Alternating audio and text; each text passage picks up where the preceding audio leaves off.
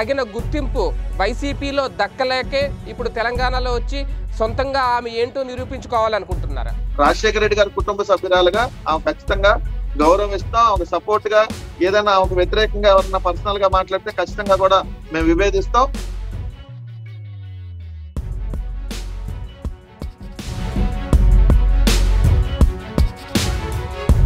చంద్రబాబు నాయుడు గారు బయటకు వచ్చేసి షర్మిలమ్మను మోసం చేశారని ఒక రకంగా మాట్లాడతాడు. ఆంధ్రాలో ఆమెకి పదవులు ఇవ్వలేదు. ఇదిగో ముఖ్యమంత్రుల చైర్లో గోల వచ్చిందని ఒక రకంగా మాట్లాడతాడు. లేదంటే ఇదిగో కేసీఆర్ గారు కావాలని పెట్టించాడని ఒక రకంగా మాట్లాడతారు. రకరకాల నోరే కదా సార్ చంద్రబాబు నాయుడు గారు మాట్లాడటానికి.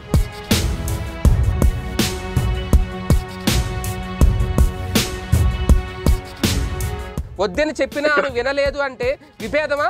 అభిప్రాయ భేదమా?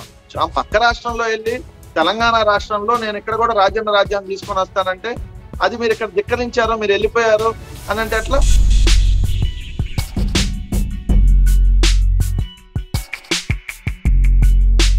వైసీపీ నుంచి షర్మిల గారు బయటకు వచ్చేసారని అనుకోవాలా? అంటే పొద్దున పూట ఒక మాట చెప్పి సాయంత్రం పూట ఒక మాట చెప్పడం ఇటువంటి మా జగన్మోహన్ రెడ్డి గారికి ఎప్పుడూ లేవు రావు కూడా.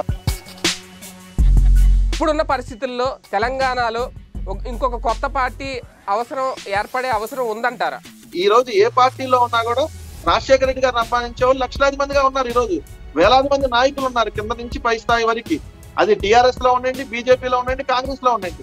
రాజశేఖర రెడ్డి గారిని వాళ్ళ కుటుంబాన్ని ప్రత్యేకంగా అభిమానించేటటువంటి అంటే నాయకులు చాలా మంది ఉన్నారు.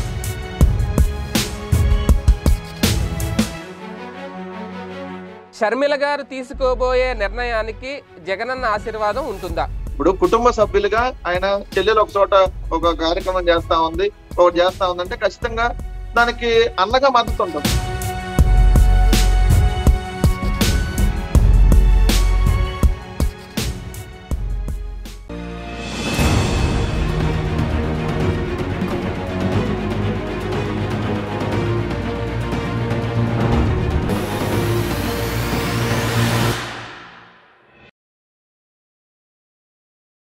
వెల్కమ్ టు ప్రజా ప్రశ్న తెలంగాణలో రాజన్న రాజ్యం. ఇది ఎంతవరకు సాధ్యమయ్యే పని? షర్మిల గారు జగన్మోహన్ రెడ్డి గారి మాటను ధిక్కరించి తెలంగాణలో తను జెండా ఎగరవేయాలి అని తపన పడుతున్నారా? తానంటే ఏంటో నిరూపించుకునే ప్రయత్నంలో ఆంధ్రప్రదేశ్ నుంచి తెలంగాణలో అడుగుపెట్టారా షర్మిల గారు చేసిన ఒకే ఒక్క ప్రకటన ఇంకా రాజన్న రాజ్యం అవసరం ఉంది తెలంగాణలో అనేది పూర్తిగా పార్టీ పెట్టబోతున్నాను అనేది ఆమె నోటి నుంచి రాకపోయినా రాజన్న రాజ్యం ఏర్పాటు అంటే రాజకీయ పార్టీ ఏర్పాటేనా అనేదే ఇప్పుడు తెలంగాణ ప్రజల్లోనూ ఇటు ఆంధ్ర ప్రజల్లోనూ కూడా మొదలైన ఒక అనుమానం. ఇదే అంశం మీద ప్రస్తుతం మనతో స్పందించడానికి కారుమూరి వెంకటరెడ్డి గారు ఉన్నారు వైఎస్ఆర్సీపీ స్టేట్ సంయుక్త కార్యదర్శి.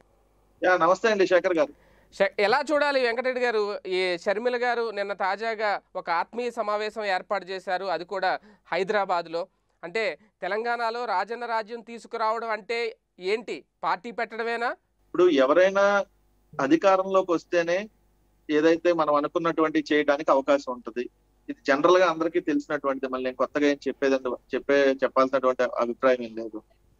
జనరల్గా ఇప్పుడు ఏంటంటే మన ఏ ఎవరైనా ఒకటి సాధించాలి ఒకటి చేయాలి ఒకటి ప్రజలకు మంచి చేయాలి అని అంటే రాజకీయాల్లో ఉన్నప్పుడు ఆ పార్టీ అధికారంలోకి వచ్చినప్పుడు మాత్రమే మనం ఫుల్ ఫ్లెజ్డ్గా చేయడానికి అవకాశం ఉంటుంది తప్ప ఏదో ఒక ఎమ్మెల్యే గానో లేదంటే ఇంకో నార్మల్ గానో ఏదో గెలిస్తే ఖచ్చితంగా అవన్నీ అంతవరకే పరిమితం ఉంటుంది తప్ప ఫుల్ ప్లేజ్గా చేసేటటువంటి అవకాశం ఉండదు కాబట్టి ఆ దిశగానే మనం అనుకోవాలి. నిన్నైతే జరిగినటువంటి పరిణామాలు మనం చూస్తా ఉంటే తెలంగాణ ప్రాంతంలో కూడా రాజన్న రాజ్యం తీసుకురావాలని బలమైన ఆకాంక్షతో షర్మిల గారు ఉన్నారనేది స్పష్టంగా నిన్న మనకు కనపడింది. ఆ మాటల్లో కానీ లేదంటే నిన్న వాళ్ళ అభిమానులు ఏదైతే వైఎస్ఆర్ కుటుంబ అభిమానులు నిన్న ఆత్మీయ సమావేశం నల్గొండ జిల్లాకు సంబంధించి జరిగిందో దాంట్లో దాని తర్వాత ఆమె బయటకు వచ్చినప్పుడు ప్రెస్ అడిగిన సమాధానాలకు కూడా చెప్పినటువంటి చూస్తే నేను మిగిలిన అన్ని జిల్లా నాయకులతో కూడా గ్రౌండ్ లెవెల్ రిపోర్ట్ తీసుకొని దాని ప్రకారం ముందుకెళ్తా అని చెప్పారు. అంటే అది రాజకీయ పార్టీ దిశగానే అడుగులని చెప్పి మనం అనుకోవచ్చు. అధికారిక ప్రకటన అయితే చేయలేదు. ఆమె నోటి నుంచి ఆల్రెడీ మీడియా ప్రశ్నించినా సరే రాజకీయ పార్టీ పెట్టకూడదా నేను పెట్టకూడదా అనే ప్రశ్న అయితే వచ్చింది ఆమె. అంటే పెడుతున్నానని చెప్పకపోయినా. అంటే ఇది ఎప్పటి నుంచే కాదు దాదాపు ఒక మూడు నాలుగు నెలల నుంచి గ్రౌండ్ వర్క్ చేసుకున్న తర్వాతే ఇప్పుడు ఈ- ప్రకటన చేశారు ఈ సమావేశాలు ప్రారంభించారు అనేది. అంటే ఏంటి?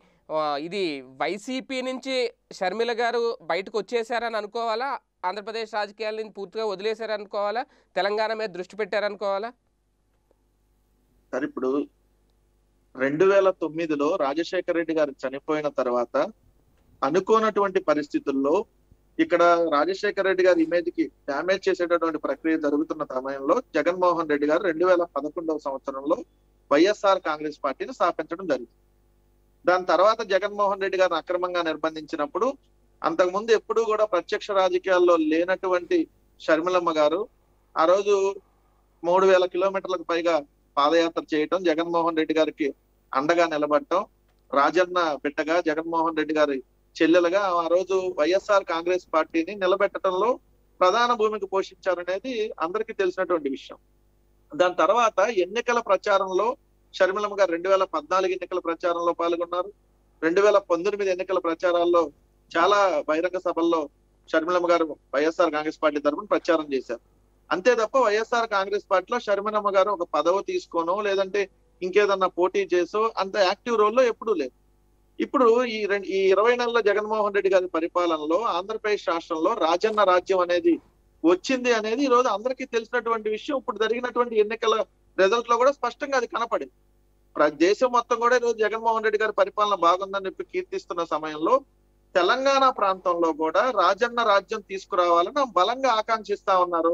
దానికి సంబంధించి ఉన్న దాంట్లో వైఎస్ఆర్ కాంగ్రెస్ పార్టీ ద్వారా అయితే దాన్ని ఎక్స్పాండ్ చేసేటటువంటి అవకాశం జగన్మోహన్ రెడ్డి గారు ఇప్పుడు లేదు కాబట్టి ఆమె సపరేట్ వేగా వెళ్ళాలని ఆలోచనతో అదే. అన్నాను ఒక రకంగా ఇది జగన్మోహన్ రెడ్డి గారికి ఇష్టం లేని పని జరుగుతోందా ఇష్టం లేకుండా తెలంగాణలో రాజన్న రాజ్యం ఏర్పాటు చేయాలనే నిర్ణయం షర్మిల గారు తీసుకున్నారా సార్ ఇక్కడ అభిప్రాయాలు ఇప్పుడు ఎలా ఉంటాయంటే జగన్మోహన్ రెడ్డి గారు వైఎస్ఆర్ కాంగ్రెస్ పార్టీ అధ్యక్షులుగా ఆంధ్రప్రదేశ్ రాష్ట్ర ముఖ్యమంత్రిగా ఉన్నారు. మనం గమనించాల్సిన విషయం ఆంధ్రప్రదేశ్ రాష్ట్ర ముఖ్యమంత్రిగా ఉన్నారు.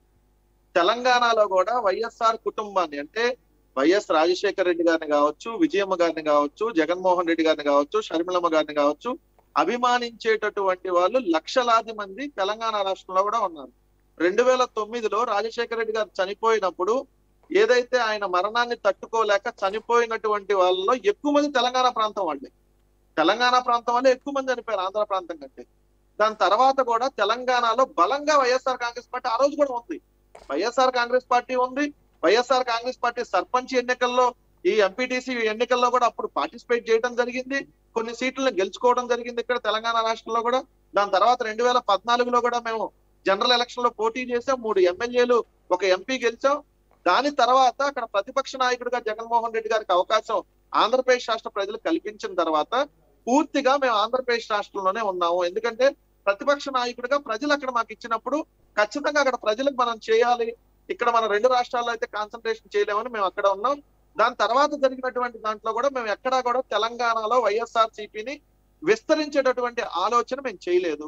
కానీ ఇక్కడ ఉన్నటువంటి లక్షలాది మంది అభిమానులు షర్మిలమ్మ గారిని కలవటం కావచ్చు లేదంటే జగన్మోహన్ రెడ్డి గారిని కూడా అంతమంది పాదయాత్రలో కావచ్చు మనం గెలిచిన తర్వాత కావచ్చు అన్నా జగన్ అన్న ఇక్కడ కూడా మన తెలంగాణలో కూడా మనం పార్టీని ఎక్స్పాండ్ చేద్దాం అన్నప్పుడు లేదు ఇప్పుడు రాష్ట్ర ప్రయోజనాలు దృష్టిలో పెట్టుకొని ఇక్కడ కూడా మళ్ళీ మనం ఇదే వైఎస్ఆర్ సిపిని కానీ అక్కడ కూడా మనం వెళ్ళి చేయాలని అనుకుంటే అది ప్రాబ్లమ్స్ వస్తా ఉంటాయి కాబట్టి నేనైతే ఇప్పుడు ఆలోచన చేయనని చెప్పి కరాఖండిగా చెప్పడం జరిగింది. దాంట్లో భాగంగా చెప్పినప్పుడు షర్మిలమ్మ గారు నేను తెలంగాణలో కూడా మరి చేయాలన్న ఆలోచన చేస్తా ఉన్న సందర్భంలో ఆమె వైఎస్ఆర్ సిపి తరఫున అయితే చేయలేరు కాబట్టి ఆమె సపరేట్గా ఒక ఓన్ వేగా అంటే రాజశేఖర రెడ్డి గారు కుమార్తెగా ఆమె సపరేట్గా ఒక పార్టీ రూపంలో ఇక్కడ వెళ్ళాలి అనే ఒక ఆలోచన చేస్తున్నట్టుగా ఇక్కడే ఒక పాయింట్. వెంకటరెడ్డి గారు ఇక్కడే ఒక పాయింట్ మనకి ల్యాగ్ ఎక్కువైపోతుంది వైసీపీని విస్తరించే ఆలోచన జగన్మోహన్ రెడ్డి గారికి తెలంగాణలో లేనప్పుడు అన్న మాటకు గౌరవం ఇచ్చి షర్మిల గారు అంతటితో ఆగకుండా ఎందుకు ముందడుగు వేసి రాజన్న రాజ్యం తెలంగాణలో అవసరం అని చెప్పి ముందుకొచ్చారు. ఇదొక పాయింట్. నెక్స్ట్ ఇంకొకటి. మీరు ఇందాక అన్నారు అప్పట్లో జ- జగన్మోహన్ రెడ్డి గారు జైల్లో ఉన్నప్పుడు కానివ్వండి షర్మిల గారు అప్పుడు పాదయాత్రకు వెళ్ళినప్పుడు కానివ్వండి చాలా తోడ్పాటుని ఇచ్చారని కరెక్టే ఇచ్చారు. ఆ తోడ్పాటుకు తగిన గుర్తింపు వైసీపీలో దక్కలేకే ఇప్పుడు తెలంగాణలో వచ్చి సొంతంగా ఆమె ఏంటో నిరూపించుకోవాలనుకుంటున్నారా? మీరు ఫస్ట్ అడిగిన పాయింట్లో ఇక్కడ వైఎస్ఆర్ సిపిని ఎక్స్పాండ్ చేసే ఆలోచన లేనప్పుడు మరి ఎందుకు సపరేట్గా ఇక్కడ వస్తున్నారంటే విభేదించి వచ్చినట్టుగా నాకు. దాంట్లో నేను ఒకటి స్పష్టంగా చెప్తాను శేఖర్ గారు. రాజశేఖర్ రెడ్డి గారి బిడ్డగా రాజశేఖర రెడ్డి గారి కుమారుడిగా జగన్మోహన్ రెడ్డి గారు వైఎస్ఆర్ కాంగ్రెస్ పార్టీని ఏర్పాటు చేసుకుని ఆంధ్రప్రదేశ్ రాష్ట్రంలో అధికారంలోకి వచ్చారు. First thing. రాజశేఖర రెడ్డి గారి కుమార్తెగా ఆమె కూడా ఒక పార్టీని స్థాపించుకొని తెలంగాణలో రాజన్న రాజ్యాన్ని తీసుకురావాలనుకుంటే తప్పెట్లా అయింది. దీనికి నేను అడిగే వాళ్ళని సూటిగా అడుగుతా ఉన్నా. అంటే వైఎస్ఆర్ కాంగ్రెస్ పార్టీని మేము విస్తరించాలనుకోలేదు తెలంగాణలో. ఇప్పుడున్న పరిస్థితుల్లో రాష్ట్రాల మధ్య ఇంకా సయోధ్య కుదరాల్సినటువంటి అంశాలు ఉన్నాయి. విభజన చట్టంలో చాలా రాష్ట్రాలకి రాష్ట్రాలకి ఇంకా పెండింగ్లో ఉన్నాయి తెలంగాణ ఆంధ్రాకి. ఈ సమయంలో మేము వద్దనుకున్నాం. ఆ సమయంలో తెలంగాణలో ఖచ్చితంగా ఇప్పుడు రాజన్న రాజ్యం తీసుకురావాలన్న ఆలోచనతో శర్మలం గారు ఉన్నప్పుడు లేదు అసలు మీరు వెళ్తానికే వీల్లేదు తెలంగాణ రాష్ట్రం ఆ, వెళ్ళి మీరు ఇక్కడ రాజకీయాలు చేయడానికి వీల్లేదని చెప్పి వాళ్ళ అభిప్రాయాలను వ్యతిరేకించడానికి ఎవరికి ఉండదు కదా? అంటే ఇక్కడ దాన్ని. తప్పు పట్టట్లేదు. ఇప్పుడు అది ఆమె ఇష్టం. ప్రతి ఒక్కరికి స్వేచ్ఛ ఉంది. మీరు కూడా పార్టీ పెట్టచ్చు. నేను కూడా పెట్టచ్చు. అది కాదు అక్కడ విషయం. కాకపోతే ఇక్కడ జగన్మోహన్ రెడ్డి గారి మాటకు గౌరవం ఇవ్వలేకపోయారా? ఇప్పుడు ఈ చీలిక వైసీపీ నుంచి వచ్చిందని అనుకోవాలా? ఎందుకంటే ఇక్కడ అన్నా చెల్లెల అనుబంధం రక్త సంబంధం ఇక్కడ. అసలు చీలిక అనుకుంటున్నారు సార్. ఇది చీలిక వచ్చిందని అనుకోవాలి? అవును సార్. ఇప్పుడు మీ ఆలోచనలు మీ కుటుంబ సభ్యుల్లో అందరి ఆలోచనలు ఒకలాగా ఉండాలని ఉండదు. అభిప్రాయాలు వేరు వేరు ఉంటాయి. అట్లని చెప్పి మీరు విభేదించి వెళ్ళిపోయారని ఎందుకు అనుకుంటారు దాంట్లో? అసలు ఆ ఆలోచనే లేదు. విభేదాలు అనే మాట రాజశేఖర రెడ్డి గారి కుటుంబంలో లేవు రావు కూడా. ఇది తప్పుడు వాదన. ఆమె ఇక్కడ ఇక్కడ ఒక పార్టీని పెట్టుకొని సపరేట్గా రాజన్న నిన్న నిన్న మీ సజ్జల రామకృష్ణారెడ్డి గారే చెప్పారు. మేము వద్దని చెప్పాము. అక్కడ పరిస్థితులు బాగాలేదు వద్దని చెప్పినా ఆమె వినలేదు అని చాలా స్పష్టంగా చెప్పారు. వద్దని చెప్పినా ఆమె వినలేదు అంటే విభేదమా అభిప్రాయ భేదమా? సార్ ఇప్పుడు విభేదం విభేదం ఇస్తే మీరు అన్నట్టు కూడా ఒకవేళ విభేదాలు ఆ రూపంలో అనుకుంటే ఆంధ్ర ప్రాంతంలో ఆమెకి నిజంగా ఏదైనా పదవుల మీద కానీ అవన్నీ ఆశ నిజంగా ఉండుంటే మీరు అన్నారు ఇందాక రెండు దాంట్లో క్వశ్చన్లో మీరు. ఎన్ని రోజులు పార్టీకి చేస్తే ఆమె ఏమి ఇవ్వలేదు కదా అని. అసలు ఆలోచన ఎప్పుడు లేదు ఆమెకి. ఆమె ప్రత్యక్ష రాజకీయాల్లో ప్రత్యక్ష రాజకీయాల్లో పోటీ చేయాలని కానీ అంటే నేను ఏమి ఇవ్వలేదు అనలేదు ఏమి ఇవ్వలే- ఇవ్వలేదు అనలేదు మళ్ళీ రాంగ్ వెళ్తుంది. సరైన గుర్తింపు దక్కకపోవడం వల్లే ఆమె బయటకు వచ్చి ఇప్పుడు పార్టీ పెట్టి ఆలోచన చేస్తున్నారా అనేది నేను అడిగిన ప్రశ్న. ఆమెకు గుర్తింపు రావాలి గుర్తింపు నాకు ఇవ్వాలి అనే ఆలోచన కూడా ఆమె ఎప్పుడు కోరుకోలేదు సార్. ఎందుకంటే ఆమె. రాజశేఖర్ జగన్మోహన్ రెడ్డి గారు జైల్లో ఉన్నప్పుడు ఆ రోజు పార్టీ కోసం అన్న కోసం ఆ రోజు వచ్చి ఉన్నారు దాని తర్వాత కూడా ఓన్లీ ఎన్నికల ప్రచారంలోనే ఉన్నారు. ఎప్పుడు కూడా ఆమె నేను పోటీ చేయడానికి కానీ ఆ ఆలోచన ఎప్పుడు చేయలేదు ఆమె. ఆ చేయాలన్న ఆలోచన కూడా ఆమెకు లేదు. కాకపోతే ఇక్కడ ఈ ఇరవై నెలల్లో జగన్మోహన్ రెడ్డి గారి పాలన చూసినాక జగన్మోహన్ రెడ్డి గారు ఇప్పుడు ఆంధ్రప్రదేశ్ రాష్ట్రంలో రాజన్న రాజ్యంలో తీసుకొని వచ్చారు కాబట్టి తెలంగాణలో కూడా ఈ రోజు రాజన్న రాజ్యం తీసుకురావాలన్న ఆలోచన కలిగినప్పుడు తప్పెట్లా అయింది ఒక మహిళగా ఆమె రాజశేఖర రెడ్డి గారు బిడ్డగా మూడు వేల కిలోమీటర్లకు పైగా పాదయాత్ర చేసినటువంటి భారతదేశంలోనే మొదటి మహిళగా ఇంత రాజకీయాల్లో ఆమె ఇన్ని సుదీర్ఘంగా ఇన్ని బహిరంగ సభల్లో మాట్లాడి ఇంత అనుభవం ఉన్న ఈరోజు తెలంగాణలో కూడా రాజన్న రాజ్యాన్ని తీసుకురావడానికి ఇక్కడ అభిమానులు అందరూ కోరుకుంటున్నప్పుడు ఆమె ఒక అడుగు ముందుకేశారు అందులో తప్పేం లేదు. అందులో అందులో తప్పేం లేదు. వెంకటరెడ్డి గారు రాజన్ రాజ్యం తీసుకురావడం తప్పే లేదు. పార్టీ పెట్టడం. ఇక్కడ అన్న సపోర్ట్ ఎంతవరకు ఉంది? అన్న ఆశీర్వాదం ఆశీర్వాదాన్ని మాత్రమే పరిమితం అవుతుందా? లేదంటే ఇంకొక రాజకీయ పార్టీ పెట్టినప్పుడు ఒక ఫర్ ఎగ్జాంపుల్ మీరే ఉన్నారు మీలాంటి నేతలందరూ ఉన్నారు వైసీపీలో. మీరు అందరూ రేపు పొద్దున్న ఆ రాజన్న రాజ్యమో లేదంటే టీవైఎస్ఆర్సీపీ ఏదో రకరకాల పేర్లు వినిపిస్తున్నాయి. దానికి సపోర్ట్ చేయగలరా? దానికి మద్దతు ఇవ్వగలరా? సార్ ఇప్పుడు రాజశేఖర రెడ్డి గారి కుటుంబ సభ్యులుగా రాజశేఖర రెడ్డి గారి కుటుంబంలో ఒక బిడ్డగా జగన్మోహన్ రెడ్డి గారి చెల్లెలుగా వ్యక్తిగతంగా మా మద్దతు ఖచ్చితంగా షర్మిల గారు పార్టీ పెడుతున్నారు తెలంగాణ రాష్ట్రంలో అంటే ఆల్ ది బెస్ట్ చెబుతాను. దీంట్లో no doubt. But. YSR Congress Party YSR Congress Party తరపున వైఎస్ఆర్ కాంగ్రెస్ పార్టీగా మేము ఇక్కడ తెలంగాణలో రాజకీయాలు చేయాలని అనుకోవట్లేదు కాబట్టి మా పార్టీ తరపున మేము మద్దతు ఉండదు ఇది స్పష్టంగా నిన్న సజ్జల రామకృష్ణారెడ్డి గారు కూడా చెప్పడం. జరిగింది అవును చెప్పారు మేము సంబంధం లేదని చెప్పారు క్లియర్గా వ్యక్తిగతంగా పార్టీకి సంబంధం లేదన్నారు. రాజశేఖర రెడ్డి గారి కుటుంబాన్ని అభిమానించేటటువంటి వ్యక్తులుగా జగన్మోహన్ రెడ్డి గారికి కానీ షర్మిలమ్మ గారికి కానీ ఇంకెవరికైనా వాళ్ళ మీద వ్యక్తిగతంగా ఎవరన్నా టార్గెట్ చేసి మాట్లాడినా ఈవెన్ ఇప్పుడు తెలంగాణలో షర్మిలమ్మ గారి పార్టీ పెట్టినప్పుడు మీరు రాజకీయంగా మాట్లాడండి రాజకీయంగా విమర్శ చేయండి దాంట్లో మేము ఎప్పుడు ఇన్వాల్వ్ కాం అది కాకుండా షర్మిలమ్మ గారి మీద వ్యక్తిగతంగా విమర్శలు చేయాలని చూస్తే ఎవరిని కూడా ఉపేక్షించం ఎందుకంటే రాజశేఖర రెడ్డి గారు బిడ్డ జగన్మోహన్ రెడ్డి గారి చెల్లెలు. ఆమె మీద మీరు వ్యక్తిగతంగా టార్గెట్ చేసి మాట్లాడాలని చూస్తే అది టిఆర్ఎస్ పార్టీ అయినా బీజేపీ అయినా ఇంకొకలైనా ఇంకొకలైనా వ్యక్తిగతంగా మాట్లాడితే మేము ఊరుకోం. మరి మీరు రాజకీయంగా ఎన్నైనా మాట్లాడుకోండి. ఆమె పెట్టే పార్టీ మీద ఆరోపణలు చేసుకోండి ఇంకోటి చేసుకోండి. అది రాజకీయంగా ఆరోపణలు చేస్తే మేము ఎప్పుడు దాని గురించి పట్టించుకోం. రాజకీయంగా మేము వైఎస్ఆర్ సిపి తరఫున మాకు కానీ షర్మిలమ్మ గారు పెట్టే పార్టీకి కానీ సంబంధం ఉండదు. ఇక్కడ వ్యక్తిగతంగా అయితే ఓకే వ్యక్తిగతంగా వ్య- వ్యక్తిగతంగా విమర్శిస్తే మీరు వ్యక్తిగతంగా విమర్శించవచ్చు అందులో తప్పేం లేదు. ఓకే కానీ ఇక్కడ ఆ- పాయింట్ కాదు మనది. అయితే ఇక్కడ రాజకీయ పార్టీ పరంగా రాజకీయ పెట్టి ఆలోచన చేస్తున్నారు. మీరు ఒక రాజకీయ నాయకుడిగా మీరు మీరు తెలంగాణ రాజకీయాలు మీకు తెలుసు. మీరు ఏపీ రాజకీయ నాయకుడిగా ఉన్న వైసీపీలో ఉన్న. ఇప్పుడున్న పరిస్థితుల్లో తెలంగాణలో ఇంకొక కొత్త పార్టీ అవసరం ఏర్పడే అవసరం ఉందంటారా? సరే ఇప్పుడు అవసరం ఉందని షర్మిలమ్మ గారు భావిస్తా ఉన్నారు. ఇక్కడ ఉన్నటువంటి వైఎస్ఆర్ అభిమానులు భావిస్తా ఉన్నారు. As Hmm. ఆంధ్రప్రదేశ్ రాష్ట్రంలో ఉన్న ఆంధ్రప్రదేశ్ రాష్ట్రంలో వైఎస్ఆర్లో పదవిలో ఉన్న వ్యక్తిగా మేమైతే ఇక్కడ ఉన్నటువంటి రాజకీయాలను అంతగా అబ్జర్వ్ చేయాల్సినటువంటి పని కూడా లేదు. ఇక్కడ ఉందా లేదా అనేది జనరల్గా ఇక్కడ ఉండేటటువంటి ప్రాంత నాయకులకు ఐడియా ఉంటుంది. ఎందుకంటే వాక్యూమ్ ఉందా? అధికారంలోకి వచ్చి ఏడు సంవత్సరాలు అవుతా ఉంది తెలంగాణ రాష్ట్ర సమితి పార్టీ. ఈ ఏడు సంవత్సరాల్లో వాళ్ళు అనుకున్నది చేశారా లేదా? ఇక్కడ నిజంగా కూడా సంక్షేమ పథకాలన్నీ కరెక్ట్గా అందుతున్నాయా లేదనేది ఇక్కడ ఉన్నటువంటి వ్యక్తులకి ఇక్కడ ఉన్నటువంటి ప్రజలకి దాని మీద అవగాహన ఉంటది. అదే విధంగా వీళ్ళందరూ కూడా షర్మిలమ్మ గారికి ఒపీనియన్స్ అన్ని చెప్తా ఉన్నారు కదా. నిన్న ఒక జిల్లా మీటింగ్ అయింది. మిగిలిన జిల్లాలో కూడా పర్యటిస్తా అంటున్నారు. గ్రౌండ్ లెవెల్ ఒపీనియన్ తీసుకుంటా అంటున్నారు. తీసుకొని దాని ప్రకారం ఎలా ముందుకెళ్ళాలో వెళ్తానంటా ఉన్నారు. నిజంగా వాక్యూమ్ ఉంటే ప్రజలు ఆదరిస్తారు ఖచ్చితంగా. వాక్యూమ్ లేదనుకోండి కొన్ని రోజులు ఇంకా వెయిట్ చేయాల్సి వస్తది. ఎక్కడైనా సహజంగా జరిగే ప్రక్రియ కదా రాజకీయాల్లో. నిజంగా కూడా ఇక్కడ రాజన్న రాజ్యంలో సంక్షేమ పథకాలు ఇప్పుడు ఉన్నటువంటి టిఆర్ఎస్ ప్రభుత్వంలో అమలు కావటం లేదని ప్రజలు భావిస్తే ఖచ్చితంగా కూడా దాన్ని ఇక్కడ అంటే ఆ వ్యాక్యూమ్ ఉందా? ఆ యాక్యం ఉందా లేదా అనేది ఆల్రెడీ ఇప్పుడు తెలంగాణలో భారతీయ జనతా పార్టీ గతంతో పోలిస్తే చాలా అగ్రెసివ్గా ముందుకెళ్తుంది. రెండో ప్లేస్లోకి వచ్చేసినట్టే భా భావిస్తుంది ఆల్మోస్ట్ కాంగ్రెస్ పార్టీ ఎప్పటి నుంచో ఉంది. అంతకు ముందు నుంచి ఎంఐఎం ఉంది అక్కడ. ఇన్ని ఉన్నప్పుడు ఇప్పుడు మళ్ళీ రాజన్న రాజ్యం తీసుకొస్తాము అంటే ఎందుకంటే ఒక రాజకీయ పార్టీ అంటే మీకు తెలుసు అంత ఆషామాషి వ్యవహారం ఏం కాదు. ఇలాంటి టైంలో మనుగడ సాధించడం అనేది అంత సాధ్యమయ్యే పనేనా? ఇవన్నీ మీ పార్టీకి మీ నాయకులకి తెలిసింది తె- తెలియందేం కాదు నిన్న సజ్జల రామకృష్ణారెడ్డి గారు కూడా ఆ వి- ఆ విషయం ప్రస్తావించారు. కొన్ని అంశాల్లో. ఇప్పుడు ఒక ఒక రాజకీయ పార్టీగా ఇంకా అసలు ఏర్పడలా?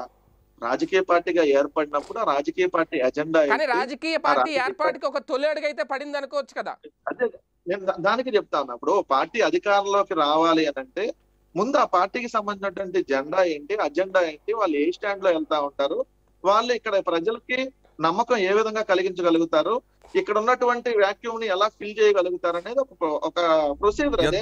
మనం ఏదో ఒక రోజుతో చెప్పేటటువంటిది కాదు. జనరల్గా వెళ్తా ఉంటే కానీ అది లాంగ్ రన్ ప్రొసీజర్లో జరిగింది ఇప్పుడు పార్టీ పెట్టినాక వాళ్ళు ఏ విధంగా ఇక్కడ ప్రజల్ని అట్రాక్ట్ చేస్తారు? ఏ విధంగా మేనిఫెస్టోని ఇస్తారు ఏ విధంగా ఈ ప్రాంత ప్రజలకి అభిమానాన్ని చూరగొంటారు? ఇవన్నీ ఉన్న దాని ప్రకారం వెళ్ళింది తప్ప మనం వస్తుందా రాదనేది అప్పుడే మనం చెప్పలేని అంశం కదా శేఖర్ గారు.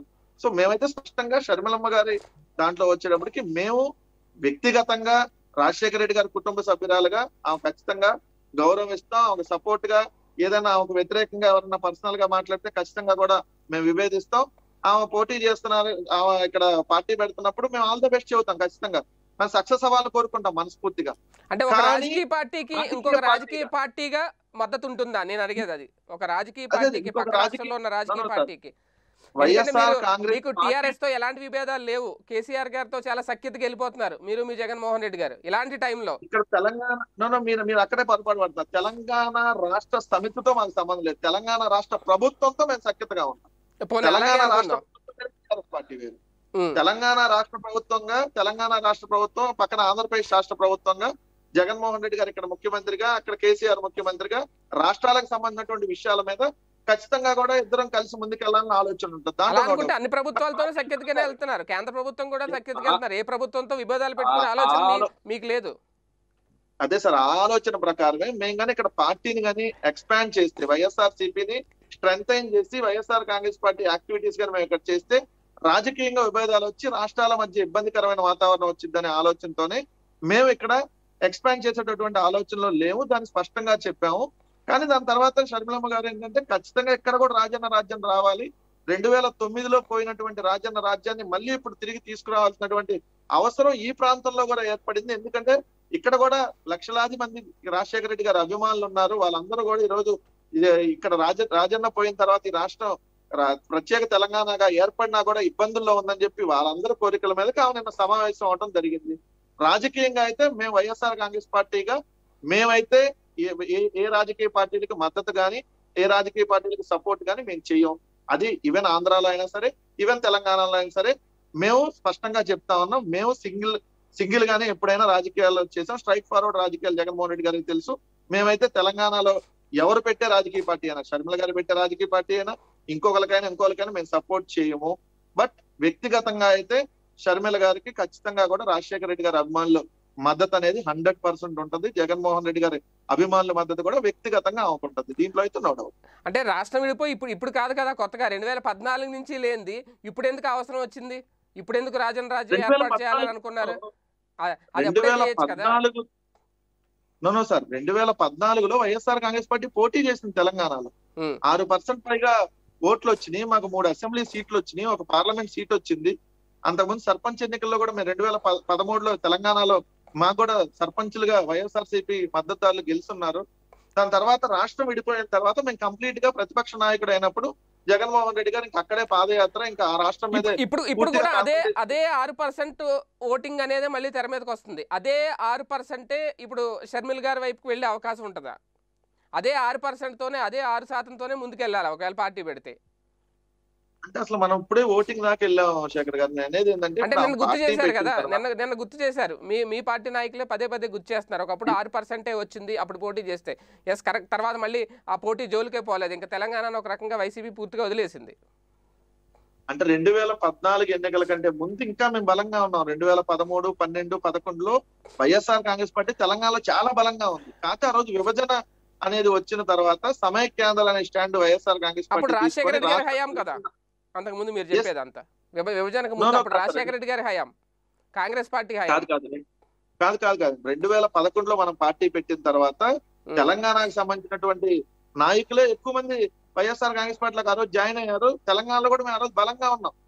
తెలంగాణలో బలమైన నాయకత్వం ఉంది ఆ రోజు. దాని తర్వాత రెండు వేల పద్నాలుగు ఎన్నికలప్పటికి వెళ్ళిపోయారు. ఎందుకంటే సమైక్యాంధ్ర స్టాండ్ తీసుకున్నప్పుడు అందరూ ఎగ్జిస్టింగ్ అవ్వాలి కాబట్టి ప్రత్యేక తెలంగాణ ఆ రోజు రాష్ట్రం అనేది విడిపోయింది కాబట్టి ఎగ్జిస్టింగ్ కోసం చాలా మంది వెళ్ళిపోయారు. ఈ- రోజు ఏ పార్టీలో ఉన్నా కూడా రాజశేఖర రెడ్డి గారిని అభిమానించే వాళ్ళు లక్షలాది మందిగా ఉన్నారు ఈ రోజు.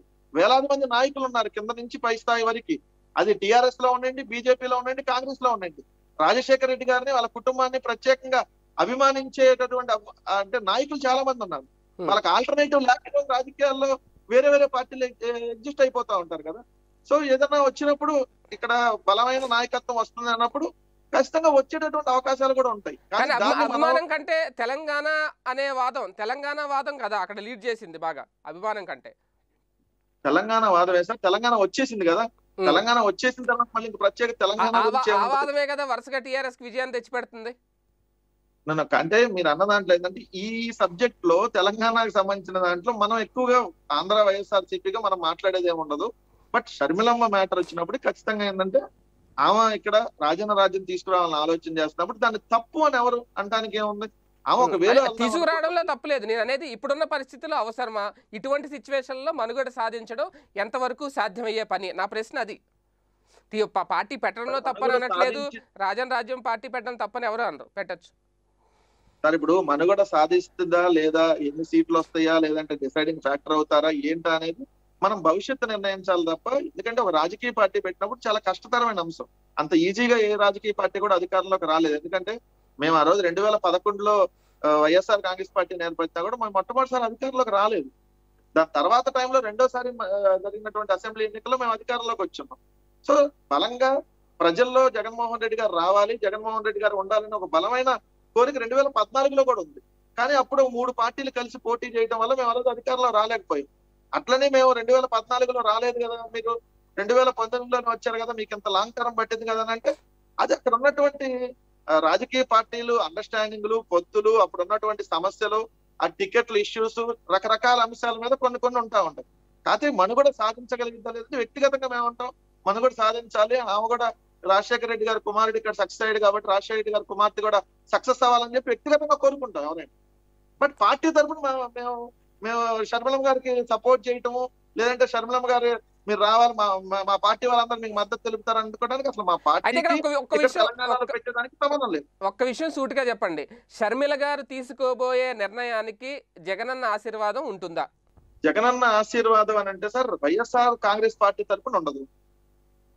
ఒక అన్నగా రాజశేఖర రెడ్డి గారి కుటుంబ సభ్యులుగా ఒక అన్నగా చెల్లెలకు మద్దతు ఎప్పుడు ఉంటది. బట్ వైఎస్ఆర్ కాంగ్రెస్ పార్టీగా మేము మద్దతు ఎప్పుడు చెప్పం.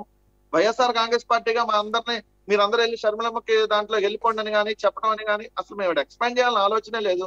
మేము తెలంగాణకి సంబంధించి ఇక్కడ మా మా కార్యకర్తలు ఉన్నారు నాయకులు ఉన్నారు కానీ వాళ్ళందరినీ మేము దాన్ని ఇంకా స్ట్రెంగ్ చేసేటటువంటి ఆలోచన మేము అంటే నిన్న. నిన్న షర్మిల గారు ఒక మాట అన్నారు మీరు చూసే ఉంటారు మీడియా ముఖంగా ఒక మాట అన్నారు అన్న ఆశీర్వాదం ఉంటుందని భావిస్తున్నాను నేను అని అన్నారు. ఆమె తీసుకోబోయే నిర్ణయానికి నేను దానికి అడుగుతున్నా.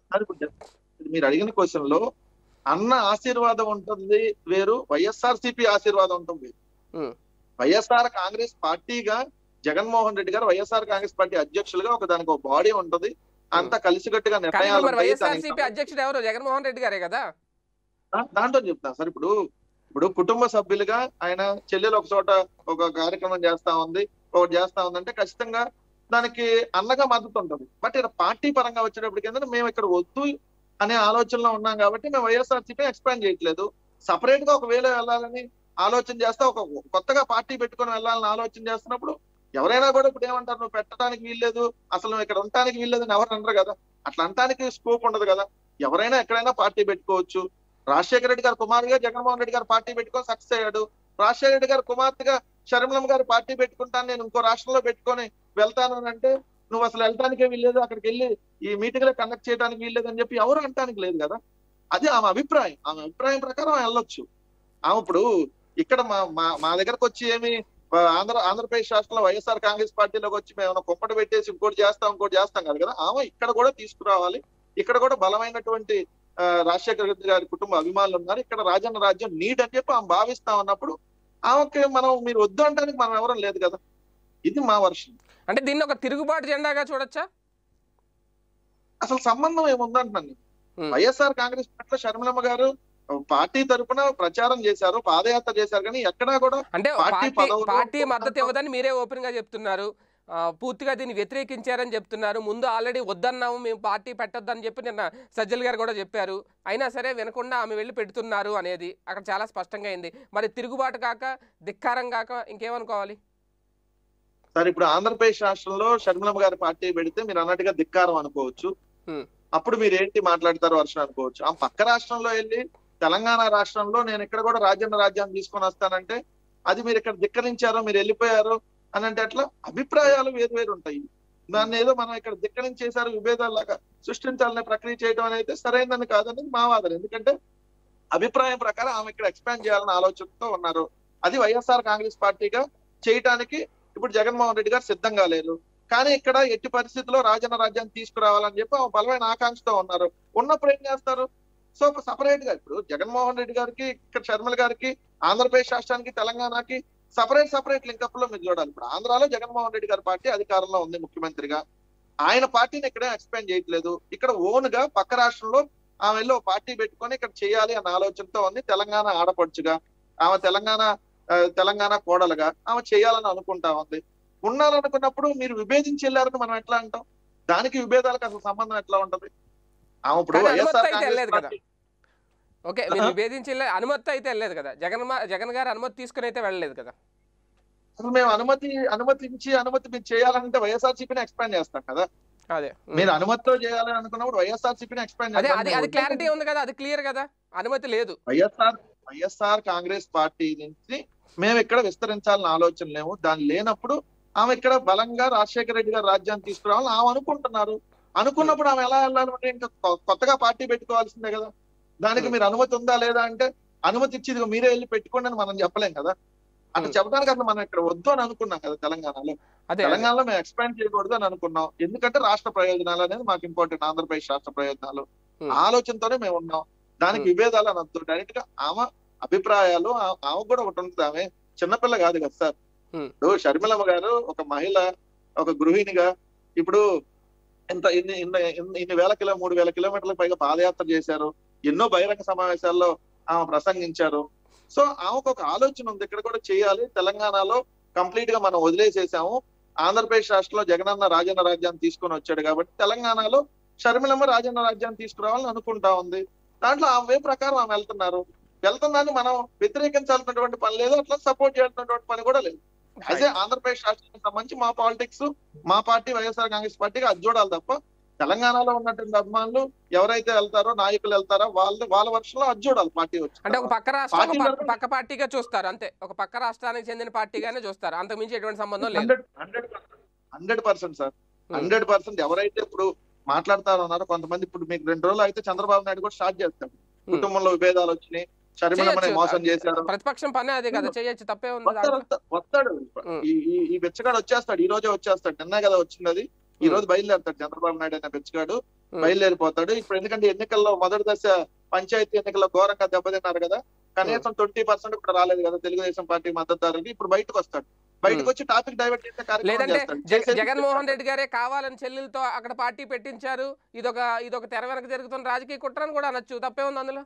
సార్ అటువంటి పాలిటిక్స్ చేయాల్సినటువంటి అవసరం జగన్మోహన్ రెడ్డి గారికి ఎప్పుడూ లేదు. మేము ఏ రోజు వెళ్ళి చీకట్లో చిదంబరం కాళ్ళు పట్టుకోవటమో లేదంటే ఇంకో పార్టీతో వెళ్ళి పొత్తులు పెట్టుకోవటమో లేదంటే పొద్దున పూట ఒక మాట చెప్పి సాయంత్రం పూట ఒక మాట చెప్పడం ఇటువంటి మా జగన్మోహన్ రెడ్డి గారికి ఎప్పుడూ లేవు రావు కూడా. అంటే ఇది ఒక ఆరోపణ? సార్. చిగట్లో చిదంబరం కాలు పెట్టుకున్నారు లేదంటే జగన్మోహన్ రెడ్డి గారు ఢిల్లీ వెళ్ళి అమిత్ షా గారిని కేసుల గురించి మాట్లాడుతున్నారని ఆరోపణలు కూడా లేకపోలేదు కదా. దానికి ఇది నాయుడు ఉంటది. చంద్రబాబు నాయుడు వర్షం కూడా నేనే చెప్తున్నాను రేపు పొద్దున చంద్రబాబు నాయుడు గారు బయటకు వచ్చేసి షర్మిలమ్మను మోసం చేశారని ఒక రకంగా మాట్లాడతాడు. ఆ ఆంధ్రాలో ఆమెకి పదవులు ఇవ్వలేదు. ఇదిగో ముఖ్యమంత్రుల చైర్లో గోల్ వచ్చిందని ఒక రకంగా మాట్లాడతాడు. లేదంటే ఇదిగో కేసీఆర్ గారు కావాలని పెట్టించాడని ఒక రకంగా మాట్లాడతారు. రకరకాల నోరే కదా సార్ చంద్రబాబు నాయుడు గారికి మాట్లాడటానికి. వాళ్ళు ఎలా అయినా మాట్లాడుకోండి. ఇక్కడైతే రాజశేఖర రెడ్డి గారి కుటుంబంలో ఎటువంటి విభేదాలు లేవు రావు కూడా. ఇక్కడ అభిప్రాయం ప్రకారం ఇక్కడ కూడా రాజన్న రాజ్యాన్ని తీసుకురావాలని ఆలోచనతో ఉన్నారు. ఉండాలని ఆలోచన చేసినప్పుడు ఇక్కడ వైఎస్ఆర్ కాంగ్రెస్ పార్టీగా ఆ వైఎస్ఆర్ కాంగ్రెస్ పార్టీతో మేము ఎక్స్పాండ్ చేసి ఇక్కడ తీసుకొచ్చే ఆలోచన లేదు కాబట్టి ఆమె సపరేట్గా ఒక ఆలోచనతో ముందుకెళ్తా ఉన్నారు. ముందుకెళ్తుండగా ఒక మహిళగా నిజంగా ఒక ఎప్రిషియేట్ చేయాలి ఒక విషయంలో. ఎందుకంటే ఆ ప్రాంతంలో కూడా రాజశేఖర రెడ్డి గారి కోసం ఉన్నారు. అది కూడా ఒకప్పుడు కలిసి ఉన్నటువంటి ప్రాంతమే కాబట్టి అక్కడ కూడా తీసుకురావాలని ఒక ఇదిగా వెళ్తా ఉన్నారు. దాన్ని మనం వేరే రకంగా కుటుంబంలో ఏదో వచ్చేసిందనే డిస్టర్బెన్స్ క్రియేట్ చేయడం అనేది సరైనది కాదని చెప్పి ఈ రోజు నా అభిప్రాయం. Right sir thank you thank you very much Venkatareddy garu.